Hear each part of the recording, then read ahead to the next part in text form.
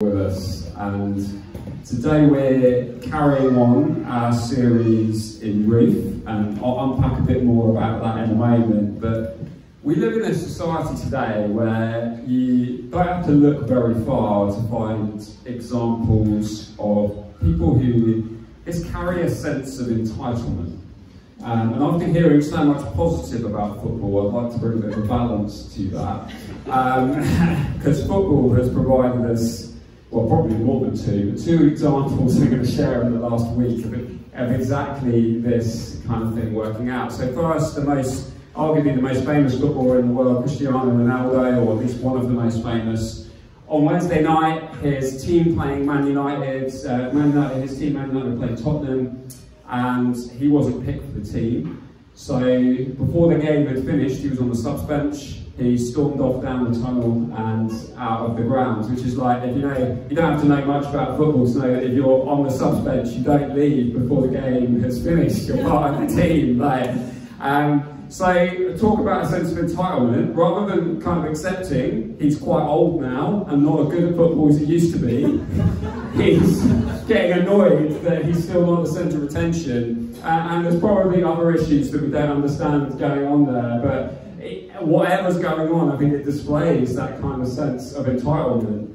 Uh, another example, uh, and this one makes me sad because I quite like him, uh, Jurgen Klopp, um, the manager of Liverpool Football Club, joined their 1-0 win, ironically they actually won the game against Man City, he absolutely lost it with the referee uh, because of a decision that he didn't agree with. And again, like, talk about a sense of entitlement, a manager having to be sent off is, is something in football that just shouldn't be necessary. It shouldn't need to be part of the, uh, of the way football works, that they've had to um, make it so managers themselves can be sent off. Um, so he protested the referee's decision in such an ugly way, really. And he did apologise later, but again, that's that kind of sense of entitlement on display, thinking that it was his right that the referee made the perfect decision from his point of view. Uh, and to be honest, like even if the referee had got it completely wrong, which was not necessarily the case, even if the referee had got it completely wrong, like it's just no, uh, uh, no space, no um, room for the allowance for the fact that the referee is a human being and might not get the perfect decision.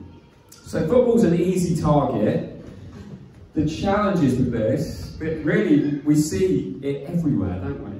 We see this kind of sense of entitlement coming out in all parts of our lives. I used to be a secondary school teacher and I taught in a school where a lot of the kids came from a middle class background, and there was a lot of assuming that they would do fine in their GCSEs without doing any work. It doesn't really work like that. You have to like put some work in. There's a lot of assumption that life would just be okay for them. It didn't matter. And the challenge for all of us here is that it's not really just other people or other examples. The challenge comes down to really, if we're honest and begin to look into our own hearts, there's entitlement that we can find there too. And as we look at this book of Ruth, Ruth shows us a beautifully different way to approach life. How to approach life with a humility, recognizing our need for the favour of God.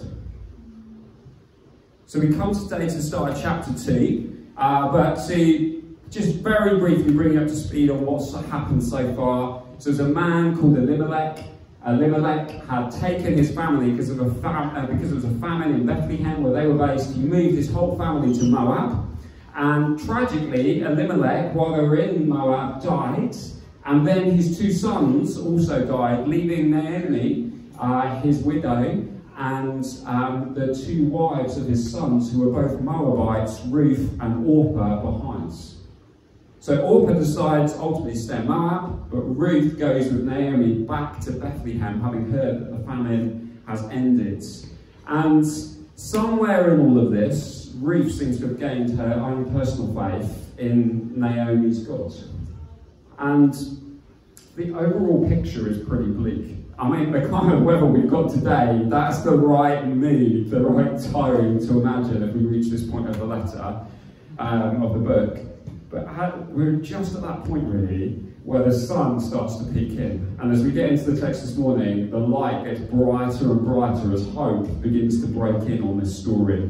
Even at the end of last week's uh, passage, actually it wasn't last week, the week before last, when Roger spoke, it said that they arrived in Bethlehem at the time of the barley harvest. And It's just that little tiny glimmer of hope coming through. So, Ruth 2 1 to 13. Ruth meets Boaz in the grain field. So, we're just going to read the first three verses. We're going to split it into three sections uh, and work through it. And there's some, there's some amazing stuff in this. So, uh, hopefully, we'll yeah, just gain some real benefit from looking at this this morning. Now, Naomi had a relative on her husband's side, a man of standing from the clan of Elimelech, whose name was Boaz. And Ruth the Moabite said to Naomi, Let me go to the fields and pick up the leftover grain behind anyone in whose eyes I find favour.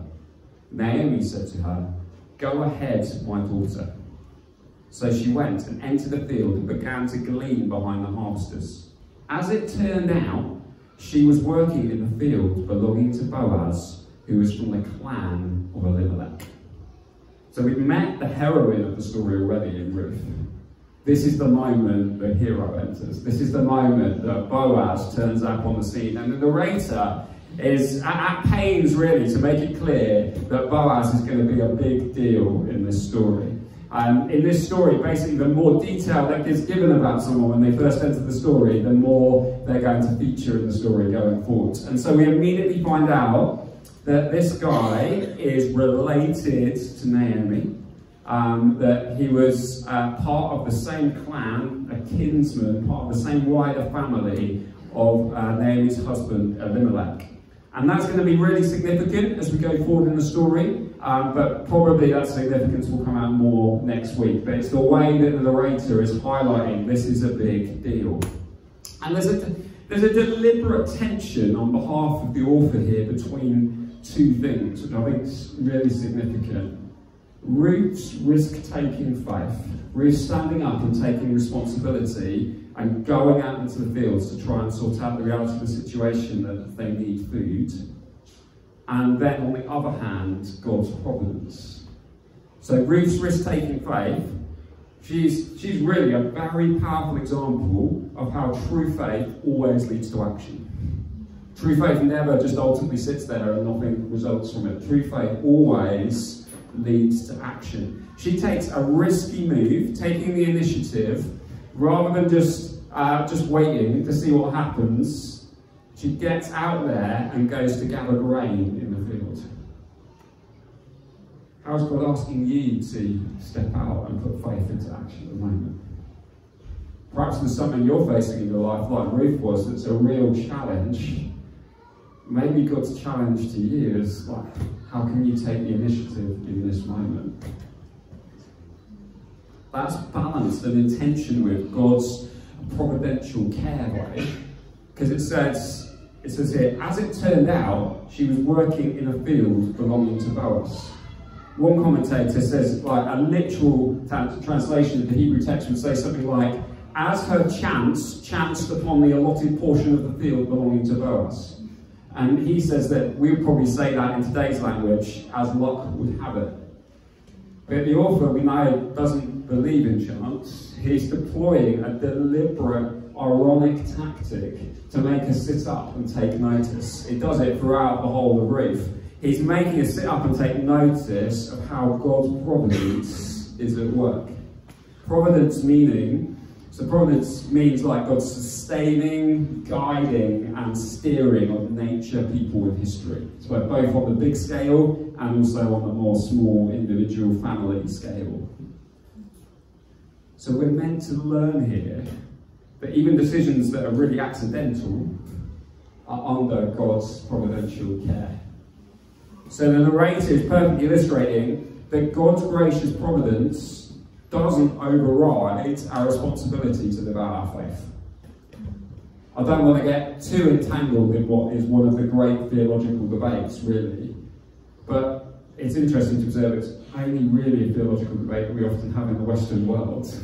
Most of the rest of the world are quite comfortable with embracing that tension that God's in control, that He knows what He's doing, that He's caring for us and meeting our needs, but also what we do matters and we have to take responsibility and step out in faith.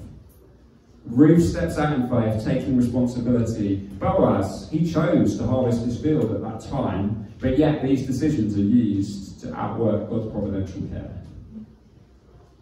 While Jean and I were engaged to be married, we were living in Birmingham, um, and um, Jude was working for herself at the time, but trying to find a job. Um, I was still had a year left of uni, and Jude had finished a year before me at uni, um, and so she was looking for work, but we were looking for work at the, the height of the last financial crisis. Um, I know we don't look old enough to have been working back then, but uh, that is the reality. We were, we were looking for work um, at a very bad time to be looking for work. Um, and she applied, she applied for the perfect job. She went for an interview, got the job, um, but there was, there was only one problem with that job really. It turned out that that job wasn't in Oxford, where we wanted to move to, and it, it wasn't in Birmingham, where we were li uh, living, which were the two places she was looking for work. It turned out it was randomly in Northampton. So initially we were like, oh, what have we done? Like, geez, managed to get a job, but it's not where we live or where we want to live. It's, um, uh, yeah, in the middle of nowhere. Um, Sorry, anyone from Northampton. Um, I didn't mean to come across so derogatory about Northampton. Um, but actually, it slightly dawned on us that actually this was perfect because it was actually commut commutable from Birmingham and commutable from Oxford. And in the end, uh, at that point in time, was the only way we'd have ever really managed to make that move and make that jump and made it financially possible for us to move uh, to Oxford at the time that God was calling us to do so. So Jude had stepped out and taken responsibility and applying for a job, perhaps a job she wouldn't have applied for if she realised where it was, but she took the responsibility for applying for it nevertheless. But God knew what he was doing and providentially provided a job that enabled us to walk in obedience to what we believe he was asking us to do. So it's important that we learn to embrace this truth that God is working providentially in the bigger picture and in our individual lives. He's sustaining, guiding, steering us. And he's doing that in the bigger picture as well. Because when we embrace that truth, actually, it shouldn't lower our faith to step out. It should increase our faith as we step out. God knows what he's doing. And even when we don't know what's going to happen, he is in control He's the one who is moving things. Faith in God should always lead to action. So, where is God asking you to step out in risk taking faith? Are the challenges you're facing where actually what God's saying to you is, you step out and I'll meet you in it? You'll see my providential care. You'll see that I am working all along as you step out. So let's carry on with the text. Just then, Boaz arrived from Bethlehem and greeted the harvesters. The Lord be with you. The Lord bless you, they answered. Boaz asked the overseer of his harvesters, Who does that woman belong to? The overseer replied, She's the Moabite who came back from Moab with Naomi. She said, Please let me glean and gather among the sheaves behind the harvesters. She came into the field and has remained here from morning till now, except for a short rest in the shelter. So Boaz said to Ruth, My daughter, listen to me. Don't go and glean in another field. Don't go away from here. Stay here with the women who work for me. Watch the field where the men are harvesting and follow along after the women. And I told the men not to lay a hand on you. And whenever you're thirsty, go and get a drink of the water from the water jars the men have filled. Now, here we immediately get a further picture of Boaz's character, even as he greets the harvesters. Like, I think the whole reason that detail is put in here is just to give us a further picture that this is a godly man. This is a good man. This isn't brought into our context. This isn't just someone who's a Christian who turns up to church on Sundays. His faith infects every part of his working life.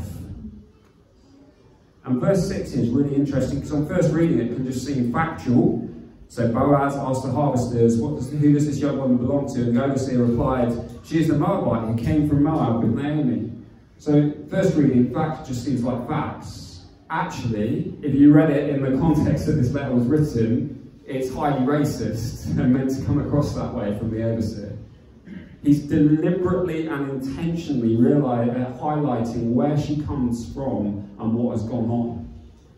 And uh, already, um, back in chapter 1, in verse 19 of chapter 1, it talks about how the whole village was stirred.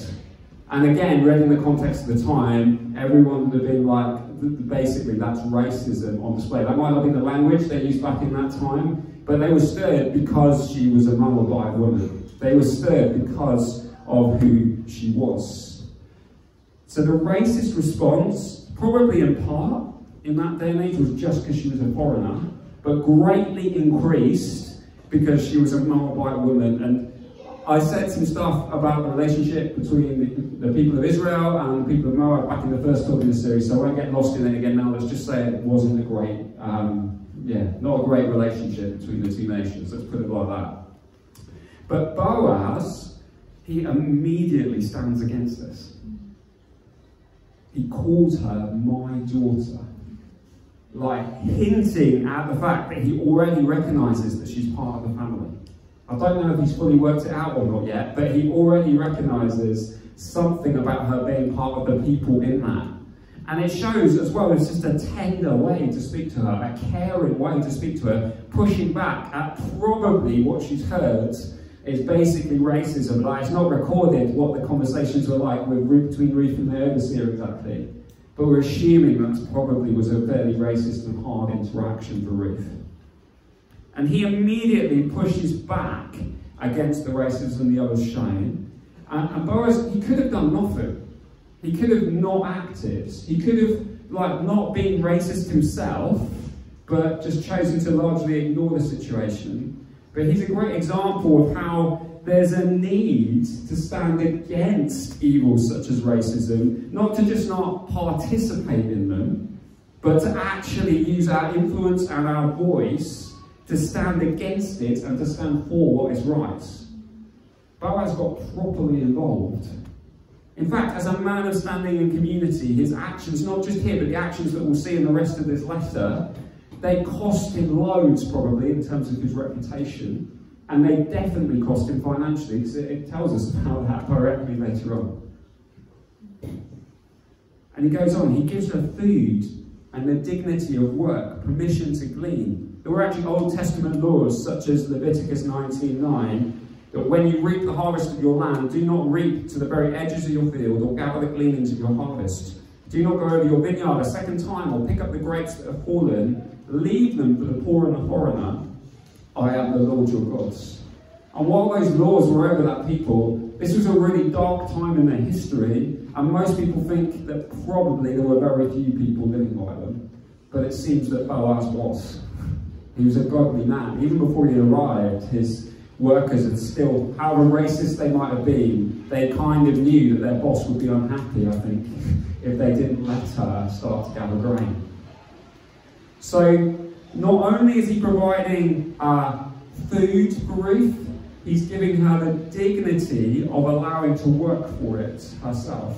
So I think there's lessons in that and challenge for us in how we seek as we go forward as a church to support the poor, the vulnerable, refugees. Like how can we not just maybe provide immediate emergency support, but actually give people dignity, actually give people space to earn a living for themselves, to find a way to get food, in this case for herself, literally. And he treats her like one of her female workers, telling her to use the water the men have drawn and the shelter provided. Even there, there's just, there's just so much in that. In that day and age, uh, the men wouldn't have drawn water for the women, it would have been the other way round. And higher ranking people wouldn't have drawn water for lower ranking people. Even when in Boaz's workers, the higher ranking workers wouldn't have been drawing water for the lower ranking workers. It was very, very uh, kind of, yeah, class orientated and where your station was in life. Um, he provides protection for her as well.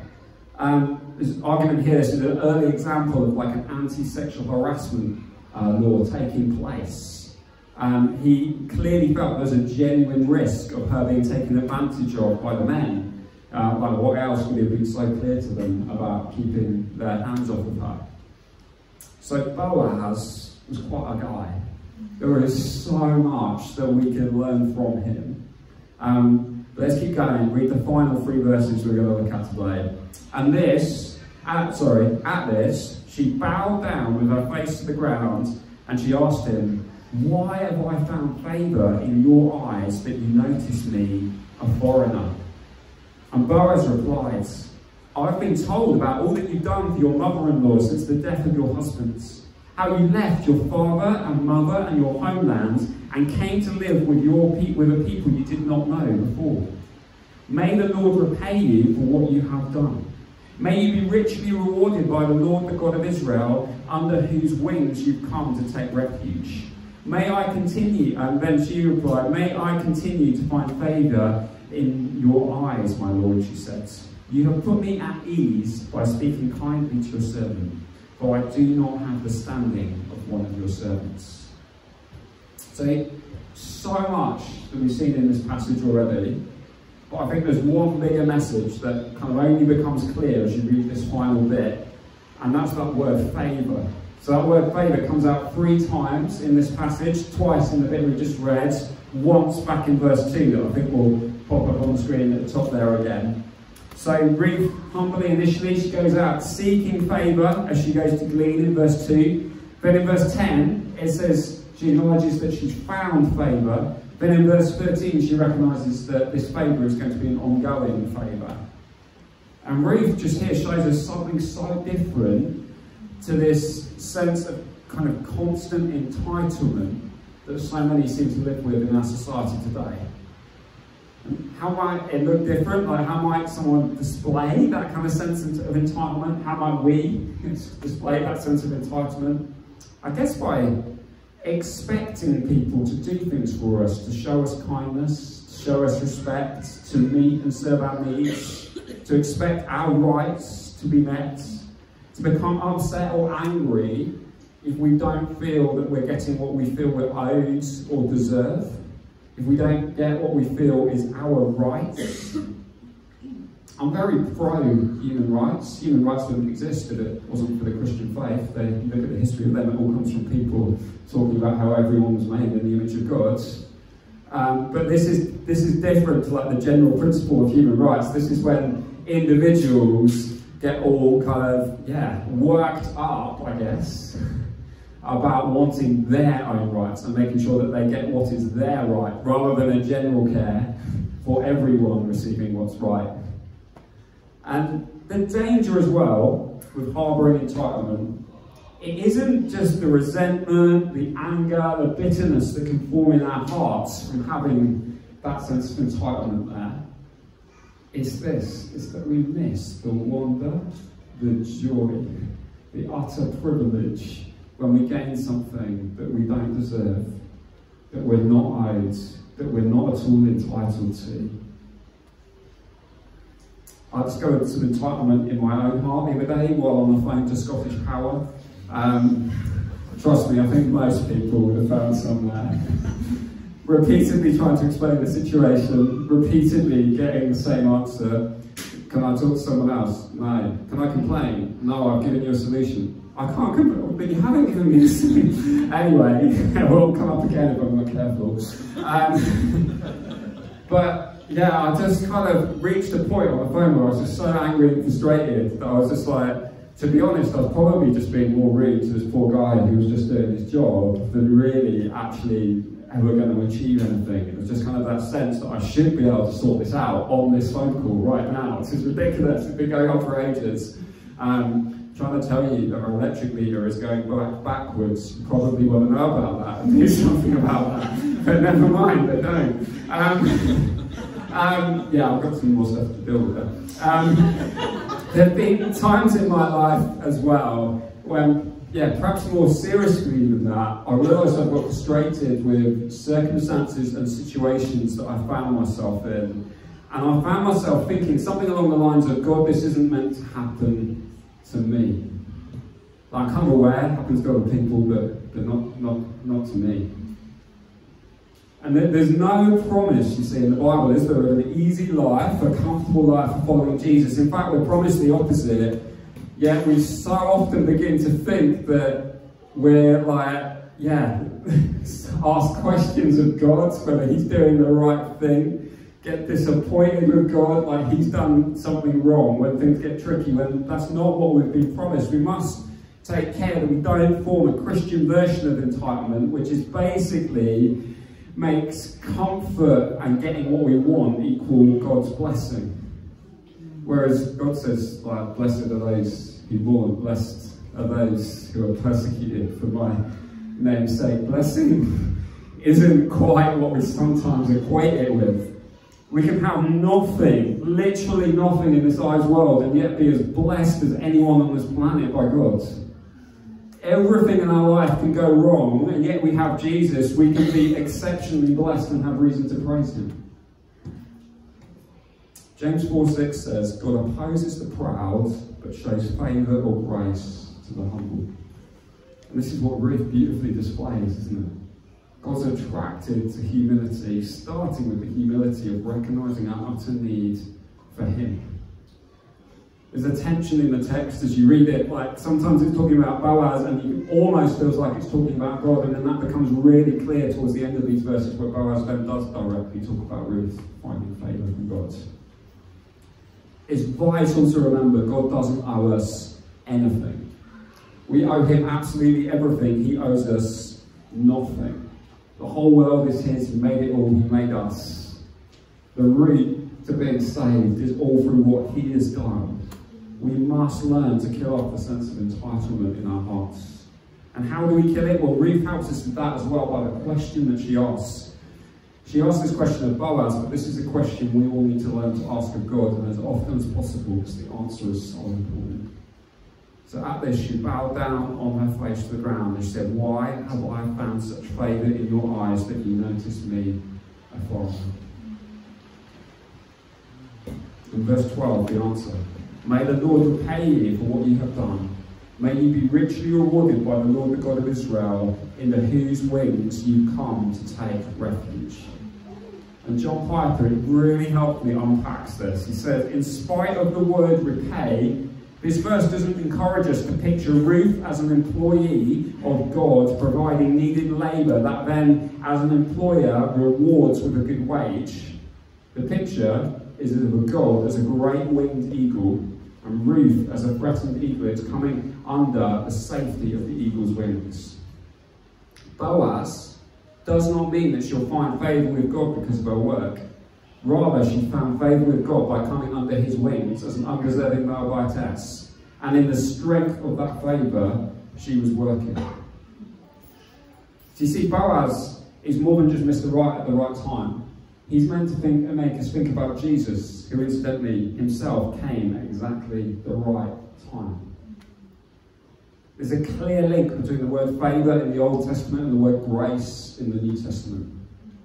Uh, so much so that that verse we read before, James 4 6, God opposes the proud but gives grace or favour to the humble. The translators can't decide which is the best one to use. Grace is perhaps best defined in short form as undeserved or unmerited favour. God's riches at Christ's expense is sometimes the acronym that people use, and I think it's a helpful one. Jesus displays ultimately in the cross as he dies for our sins, taking our punishment, taking what we deserve onto himself, taking our guilt and shame. He didn't deserve to die, we did. We didn't deserve to be shown favour, but he shows us favour anyway. We didn't deserve any of this grace, but we get it anyway. He came offering us a grace, not just to be saved, but grace that gives us strength to live for him day by day.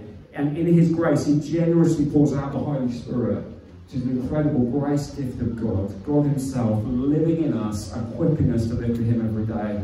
We have already heard read earlier, uh, 2 Corinthians 12 9, My grace is sufficient for you, for my power is made perfect in weakness.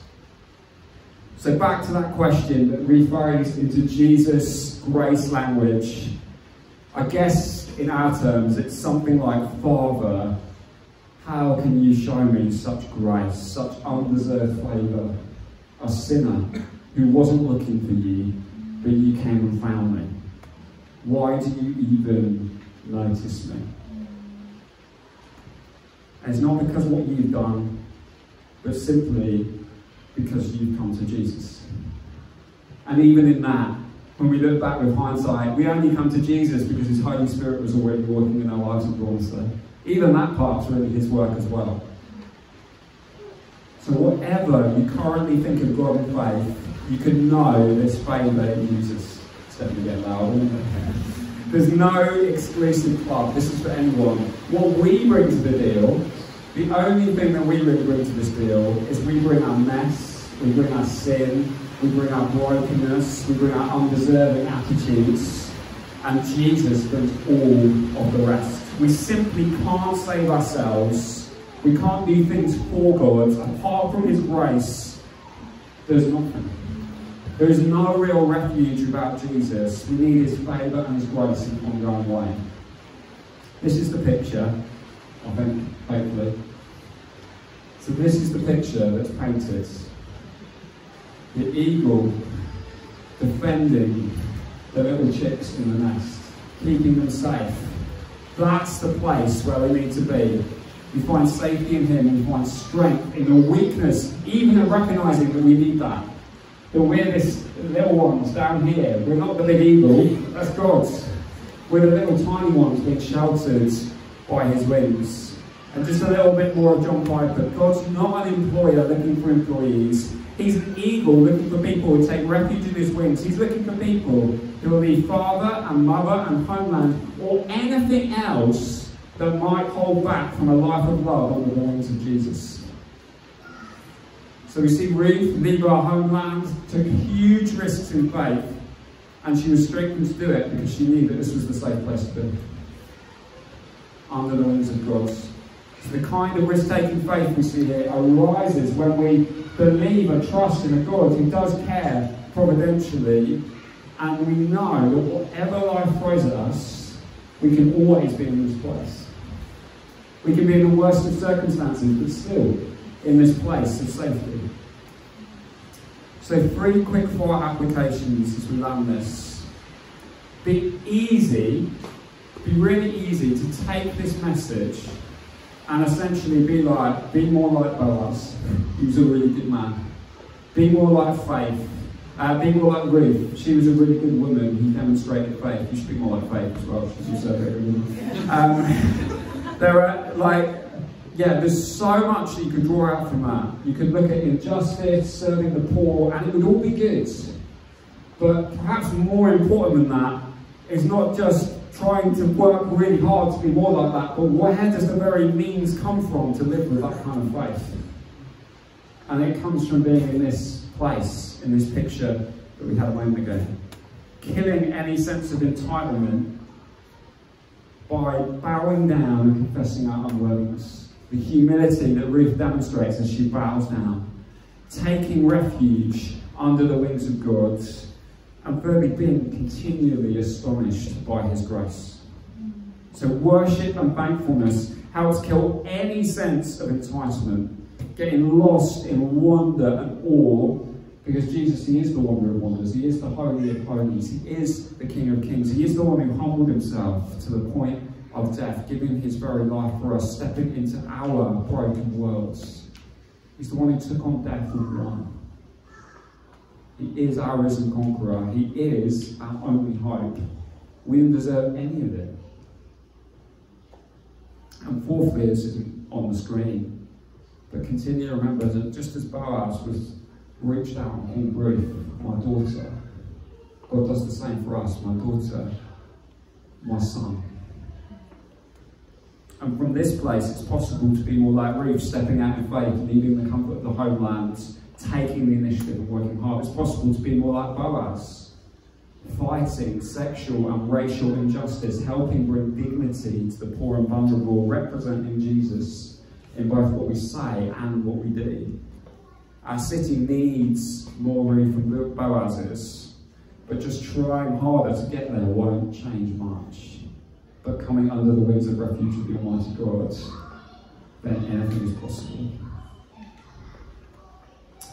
Um, we're just about out of time, but I'd love us just to sing just a little bit of this song, and then I'll pray for us really briefly.